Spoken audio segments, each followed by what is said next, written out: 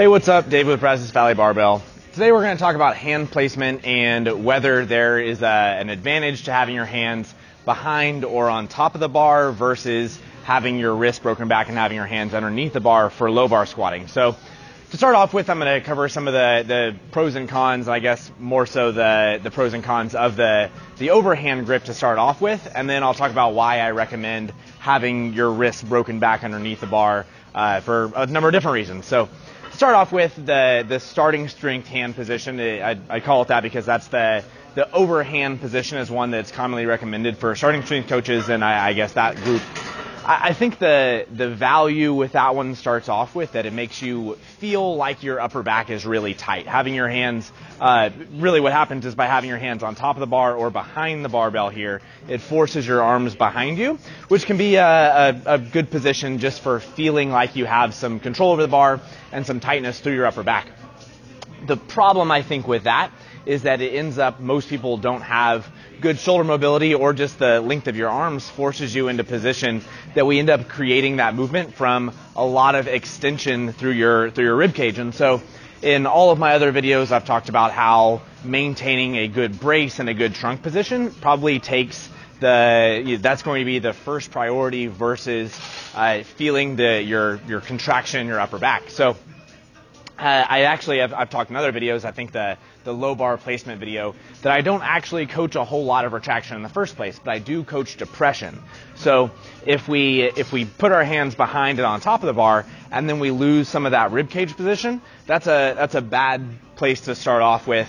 But some of the newer lifters may just get an advantage from that from just having the feeling of their upper back musculature contracting. And so in the beginning, it may be a smart play to, to feel what that feeling is like. But I think as we get going, we need to, to look more into the, the creating the rigidity from other places, specifically from abdominal bracing and bracing into the belt, and then the uh, depression of your shoulders throughout. So uh, when we when we put our hands underneath the bar, it allows us to accomplish a number of things. The, the first thing is I, I think it gives us a little bit more space in our arms to position our elbows in a way that I can keep the bar from rolling up my back. That's another big disadvantage of having your hands on top of the bar. It, it's, it's going to be a hard thing to keep the bar from I'd say it's going to be hard to keep the bar staying low or letting it drift lower. So one of the advantages of having your wrist broken back is that there is going to be a little bit of leeway. If, if during the squat, if my hips shift back, the bar sometimes will actually need to translate a little bit on my back to stay midfoot.